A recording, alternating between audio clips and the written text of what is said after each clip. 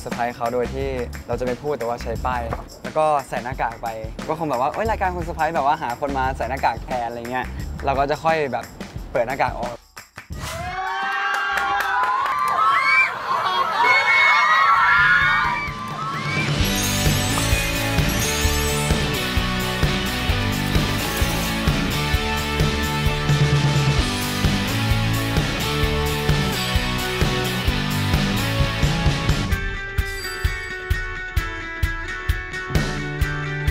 ตอนนี้เราอยู่ที่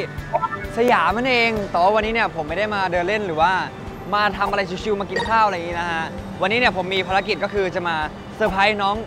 ที่มีชื่อว่าน้องขิงหอมนั่นเองนะครับผมน้องขิงหอมเนี่ยเป็น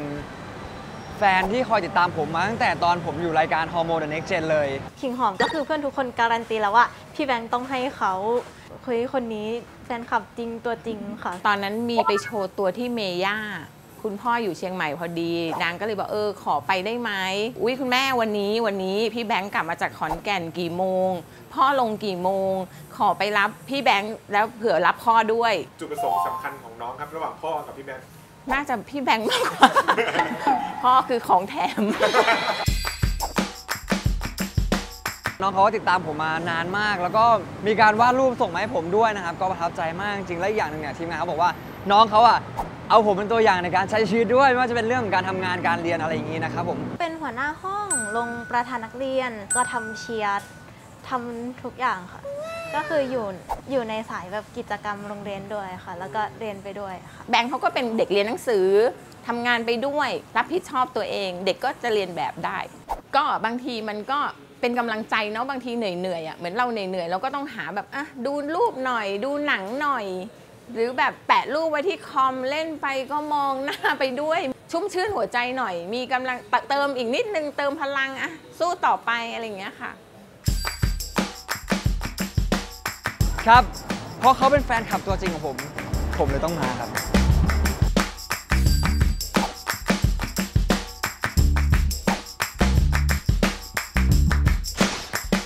เราจะมาเซอร์ไพรส์เขาโดยที่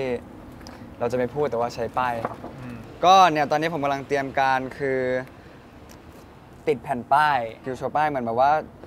จีบกันสมัยก่อนนะ ที่เขาจะแบบว่าถือป้ายจีบกัน แล้วก็เดี๋ยวจะตัดเนี่ยครับ เป็นหน้ากากของผมเองอ้าวแล้วก็ใส่หน้ากากไป ให้น้องเขาแบบว่าคิดว่าเอ้ยคงไม่ใช่พี่แบงค์จริงๆหรอกอะไรอย่างเงี้ยก็คงแบบว่าเอ้ยรายการคนเซอร์ไพรส์แบบว่าหาคนมาใส่หน้ากากเป็นเราแทนอะไรเงี้ยแล้วก็เราก็จะค่อยแบบเปิดหน้ากากออกแล้วก็ให้เขาแบบเห็นว่าเป็นเราจะได้เซอร์ไพรส์น้องเขาอีกทีหนึ่ง อยากจะหากำลังใจมาให้น้องเขาเพราะน้องเขาใกล้สอบเข้ามหาลัยแล้วด้วย ขนาดมีแฟนยังไม่เคยทำอะไรอย่างนี้เลยเนี่ยถือว่าเรียนหนักค่ะเรียนเยอะตอนเนี้ยวันอาทิตย์ว่างวันหนึ่งแต่เดี๋ยวเดือนเมษาวันอาทิตย์จะเรียนเพิ่มอีกวิชาหนึ่งขึ้นรถมาปั๊บหลับปุ๊บเลย เราก็บอกเฮ้ยลูกมันต้องขนาดนี้เลยเหรออะไรเงี้ยไหวไหมอะพักบ้างก็ได้นะ หยุดเรียนบ้างก็ได้บอกไม่ได้แม่ สบายมากไหว จริง ๆ เราเป็นคนแบบว่าเซอร์ไพรส์ไม่ค่อยเก่งด้วย เขินอะเวลาทำอะไรอย่างเงี้ยมันจะรู้สึกว่าเฮ้ยทำไปแล้วเขาจะเซอร์ไพรส์เพราะว่าเขาจะชอบในสิ่งที่เราทำหรือเปล่าอะไรเงี้ยก็เอาจริงครับพี่ผมก็มีความรู้สึกว่าเฮ้ยน้องเขาจะชอบเราจริงปะวะน้องเขาจะน้องเขาจะแบบดีใจปะวะที่ได้เจอเราอะไรเงี้ยไม่ใช่เผลอๆแบบไปยืนปุ๊บแล้วอ้าวพี่มาทำไมคะมันก็เป็นโอกาสที่ดีด้วยค่ะ เพราะว่าพอจะขึ้นม .6 แล้วเขาก็ ต้องสอบเข้ามหาวิทยาลัย เขาจะได้เจอจะได้แบบรับกำลังใจ ก็ในความรู้สึกของคนเป็นแม่เนาะเราก็อยากให้ลูกเราเออดีใจนางคงแบบเอออยากให้ลูกมีความสุขในทุก ๆ วันที่แบบเออถ้าเจออย่างนี้ยนางคงมีความสุขมากอะเนาะแบบอืมก็อยากให้เขามีความสุขอะค่ะตื่นเต้นเหมือนกันนะเนี่ยปึ๊บนี่เรียนนะได้ไหม สวัสดีครับผมแบงค์ครับครับ เอาจริงป่ะตอนนี้ตื่นเต้นมากเพราะว่าเหมันแบบขนาดจะเอาดอกไม้เข้าไปเซอร์ไพรส์เพื่อนแบบวันรับปริญญาอะไรเงี้ยแต่ยังรู้สึกตื่นเต้นเลยนี่ลูกโป่งช่อใหญ่ พร้อมการใส่หน้ากากด้วยพี่หอมสู้ๆนะครับ พี่ก็จะสู้ไปด้วยกัน ไปแม่ทำไมเวลาพูดหน้านิ่งจังดีใจ เสียใจร้องไห้หัวเราะเราเป็นดาราหน้านิ่งครับผม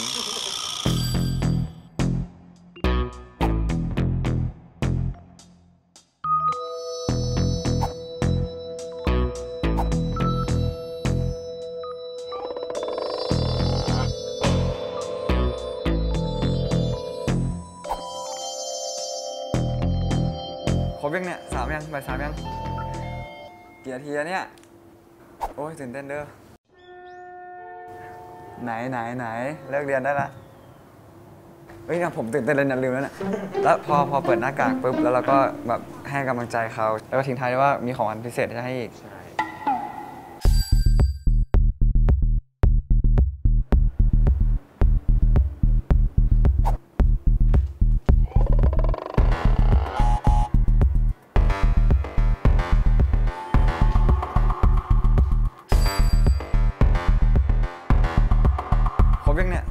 สามยัง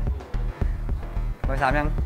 ยัง ใช่ปะวะ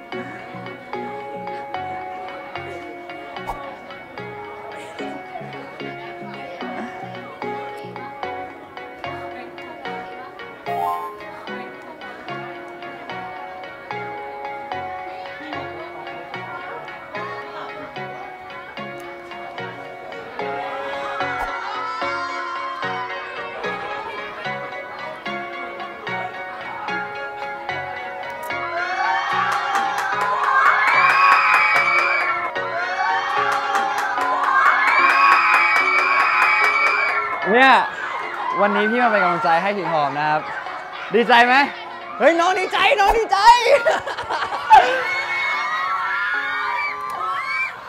เฮ้ยนี่มีของมาให้คิงหอมไฟติ้งนะอ่าพี่ก็เลยอยากจะมาให้กำลังใจก่อนที่น้องจะเตรียมตัวเข้ามหาลัยขอให้กำลังใจหน่อยได้ปะ คิดบ้าว่าวันนี้จะได้เจอทำไมอะ แต่ว่าเราเคยเจอกันนี่ ใช่ไหมเออ แล้วคราวเนี้ยแบบเพิ่งรู้ว่า ตื่นเต้นเหมือนกันนะเนี่ย วันนี้พี่ก็เลยเห็นว่าขิงหอมชอบพี่มาก พี่ก็เลยมาเป็นกำลังใจให้ขิงหอม แต่ว่าไม่ได้หมดแค่นี้นะ ไหนๆวันนี้ขิงหอมเรียนเสร็จแล้วใช่ปะเดี๋ยวพี่จะพาไปทำอะไรพิเศษพิเศษแล้วมีของขวัญให้อีก โอเคปะเรียนเสร็จแล้วต้องไป relax กันหน่อย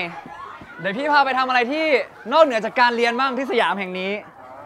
มีคนช่วยพี่ด้วยนั่นก็คือ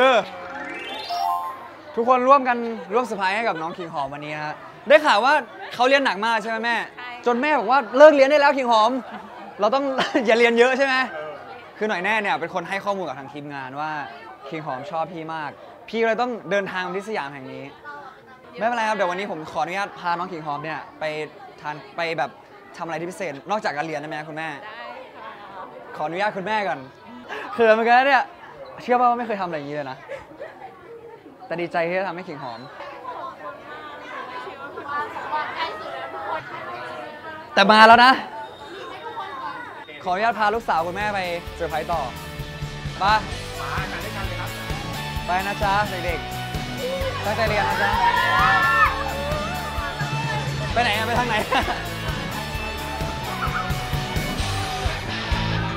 bye b-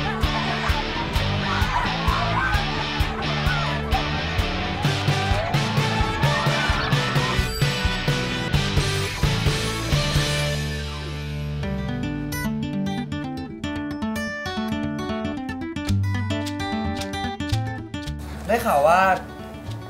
มาสยามนี่คือไม่เคยแบบว่าออกจากที่เรียนพิเศษเลยใช่ปะคือมาสยามเพื่อเรียนพิเศษอย่างเดียวใช่ปะประมาณนั้นนะคะจริงปะเนี่ย ใช่เคยเดินมาซอยนี้ปะเนี่ย เคยค่ะ อ๋อเหรอ เดินผ่านนี้อ๋อเดินผ่านเพื่อไปเรียนอีกที่หนึ่งเออวันนี้พี่ก็เลยถือโอกาสพาน้องหิงหอมเนี่ยมานั่งชิลบ้าง ออกจากห้องเรียนมา เพื่อมานั่งทำอะไรไร้สาระกับพี่ ถือว่าเป็นอะไรที่ดีไหมดีเออสักครั้งหนึ่งในชีวิตเนาะค่ะการสุดครั้งนี้เป็นไงชอบไหม แล้วแวบแรกที่เห็นเลยเนี่ย เห็นชื่อตัวเองเนี่ยว่าแบบถือป้ายรู้สึกยังไงไม่อยากถามว่าเพราะจะเหมือนกับที่พี่คิดมาหรือเปล่า เหมือนในปิดเทอมใหญ่เหรอ เฮ้ยขอบคุณมากขอบคุณมากที่เห็นความตั้งใจของพี่นะ เราคิดป่าว่าอยู่ๆดีวันเนี้ย พี่ก็โผล่มามาเซอร์ไพรส์เราเนี่ยคิดป่ะไม่ก็เอาจริงๆไม่คิดว่าจะได้เจอพี่แบงค์เราด้วยเพราะว่าเมื่อก่อนหนูตาม แต่ว่าเดี๋ยวนี้พอเรียนหนักก็ไม่ได้ไปตามก็เลย ไม่คิดว่าจะได้เจอพี่แบงค์อีก แต่ว่าก็ตกใจแล้วก็ดีใจที่ได้เจอแล้วก็ได้มาคุยอย่างนี้ ก็เมื่อก่อนเรามาตามพี่คราวนี้พี่ก็มาตามหาเราไงถูกป่ะที่มาเขาบอกว่าเคียงหอมอะมีพี่เป็นเหมือนกำลังใจอะไรเงี้ยคือสมมติว่าแบบเปิดมาเจอหน้าพี่แล้วเราจะแบบโอ้โหพร้อมพร้อมรู้สึกอย่างนี้เหรอ หรือมันเป็นความรู้สึกยังไงอะอก็ยากรู้อะหนูชอบรอยยิ้มพี่แบงค์ก็อย่างนี้เหรอก็ก็เหมือนเวลาพี่แบงค์ยิ้มแล้วมันดูสดใสดี อืมตอนจัดฟันใช่ป่ะใช่ แล้วตอนเนี้ยก็สดใสอยู่โอเคโอเคก็ยังชอบอยู่ ใช่ แล้วแล้วแล้วได้ข่าวว่าพี่เป็นแบบว่ากำลังใจให้กับคิงหอมด้วยเหรอ เวลาแบบอ่านหนังสือหรือว่า เป็นกำลังใจให้ตอนไหนอะก็เหมือนถ้าเรียนเหนื่อยๆอย่างเงี้ยก็เห็นพี่แบงค์ยิ้ม หนูชอบรอยยิ้มพี่แบงค์จริงๆค่ะอืมแค่นี้เหรอไม่รู้จะพูดอะไรวันนี้เหนื่อยปะเหนื่อยปะพี่จะได้ยิ้มให้เดี๋ยวะแต่วันนี้ก็เป็นกำลังใจให้ไง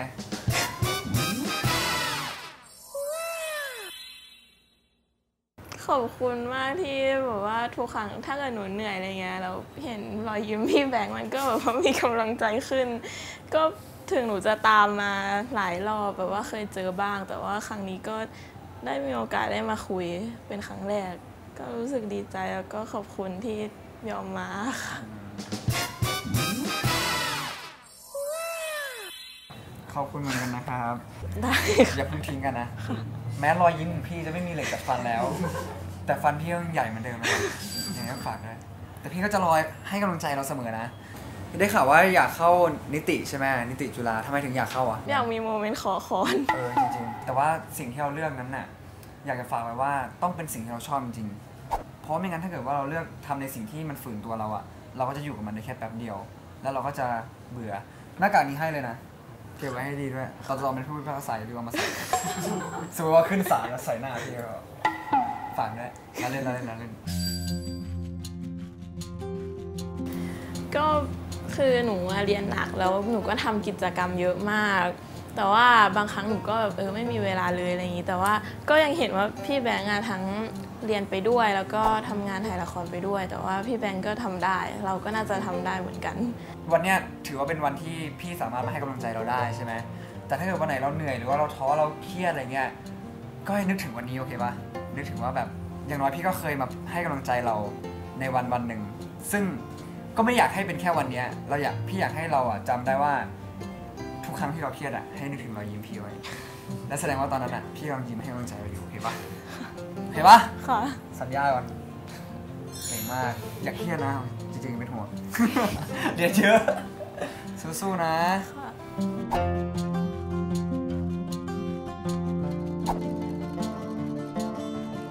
ก็จริงๆ อันนี้ถือเป็นครั้งแรกเลยนะที่ผม ได้มาทำการเซอร์ไพรส์อะไรแบบนี้ผมรู้สึกว่ามันก็เป็นประสบการณ์ใหม่ที่ดีของผมครั้งหนึ่งในชีวิตเหมือนกัน เพราะว่าไม่เคยทำอะไรแบบนี้มาเลย แล้วเรารู้สึกว่าหลังจากที่เราทำแล้วเนี่ยมันทำให้เรา มีความสุขเหมือนกันนะพอพอเราเห็นคนที่เขารักเราหรือเขาแบบเป็นแฟนคลับเราที่เขาคอยติดตามเราเนี่ยเขายิ้มเขามีความสุขเราก็รู้สึกว่าเฮ้ยจริง ๆ แบบนี้มันก็มันก็มีความสุขดีเหมือนกันนี่หว่าที่ได้ทำอะไรแบบนี้มันเหมือนเป็นการแบบว่า มอบสิ่งดีๆ ให้กับคนที่เขาคอย support เราอะไรเงี้ยครับถึง